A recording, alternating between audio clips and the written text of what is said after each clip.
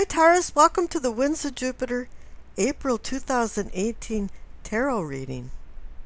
Now, I'd like to thank Christian Kaiser for that amazing nature video that he titled How Wolves Change Rivers.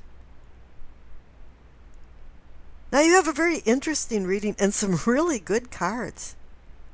But it's kind of like the rune that I picked for you Perthro. It's about the mystery and the unknown. It's about changing destiny that can change fate. It's about your free will and circumstances, providence, unexpected things. This is like the Norse goddess of fortune.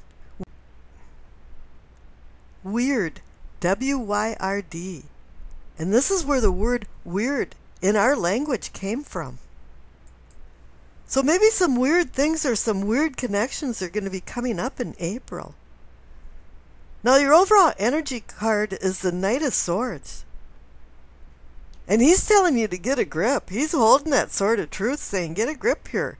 Use some logic, reason, and use it well when you're making decisions.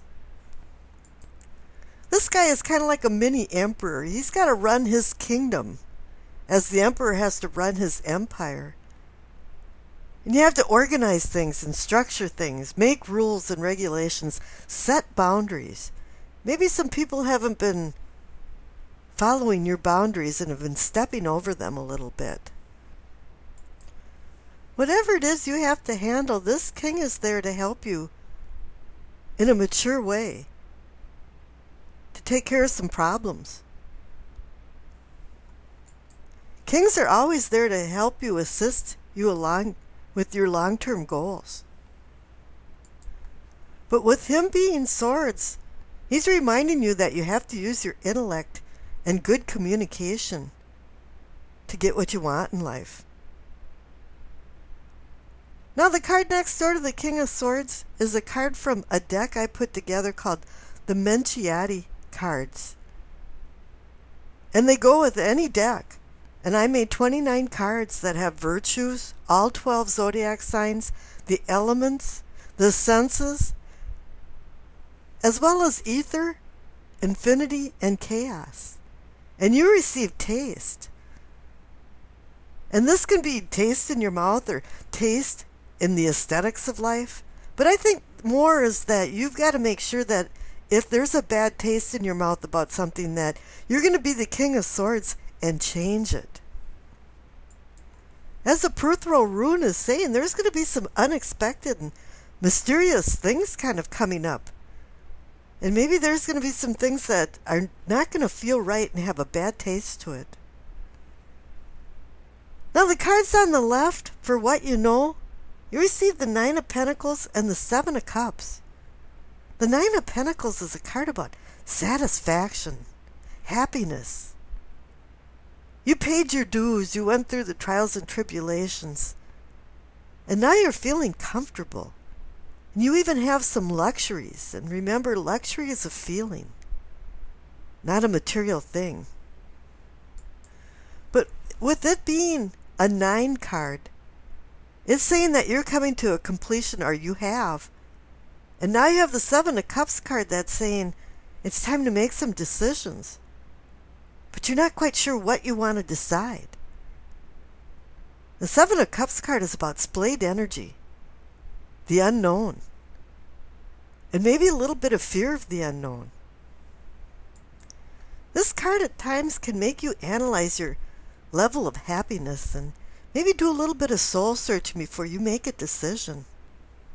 You know, what do you really want in life? Individuality? Sexual pleasure, love, home, family, wealth, success? Stability? Spirituality? There's a lot of things to choose from in life, a lot of things we've overlooked. Overlooked to even make that decision. And I'm saying that you overlooked it because the card next to the Seven of Cups is another Seven of Cups along with the Sun card. Not saying if you can make the right decisions, you're going to find prosperity, abundance, success, understanding, and insight. Because the Sun card does shine a light on things that you direct your attention to. And maybe it can shine a light on the insides of some of these cups to dispel some of the fear of making this decision or decisions that you have to make. The Sun card is about exposing truth and you have the King of Swords at your back, holding the sword of truth. The Sun card is about growth and closure of things that with good outcomes.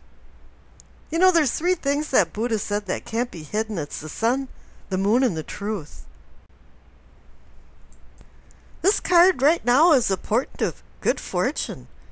And I'm saying that because the cards next door for yourself or self awareness are excellent cards. It's the Three of Cups and the Empress. Now, the Three of Cups is a teamwork card, people singing on the same sheet of music in harmony. It's a communal union card. It's about getting together with people and celebrating. You might have done some type of cooperative project and now it's at an end and it's time to celebrate the fruits of your labor kind of thing. It's an ascension card. And here the Empress is about home and hearth and fertility.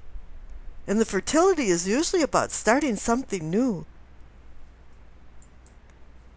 The Empress epitomizes Venus for love, but she also epitomizes all 12 signs of the zodiac. She oversees all of them. So there's going to be a lot of taste of a lot of different things in your life coming in. And your future cards agree that you're going to be starting some new things. Because you received the Page of Cups, the Fool, the Three of Wands, and the Nine of Cups, the Wish card. So you're going to get one big wish, or a whole bunch of little wishes, all put together. But the you have to be careful with the Page of Cups, though. He's a fantasy land kind of guy. His feet aren't necessarily on the cl- on the ground, and his head's usually up in the clouds. And his imagination is running wild. And a lot of times he's really moody. You know, he's sad from unrequited love and happy because he's falling in love there isn't a lot of emotional stability here, and he's, you have to have that. Because here you have the Fool card, you're going to be embarking